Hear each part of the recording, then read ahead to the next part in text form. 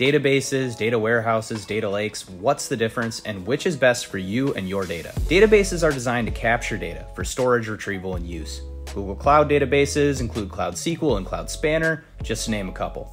If you have a ton of data stored in sheets and tables, and you simply need somewhere to put that data that's reliable and scalable, check out a database. Data warehouses are designed to analyze your data. They can handle structured or unstructured data from multiple sources. BigQuery is Google Cloud's data warehouse solution. If you want to analyze and derive insights from your data rather than just store it, check out a data warehouse. Okay, finally, what's a data lake? A data lake is a repository that can handle pretty much any kind of data.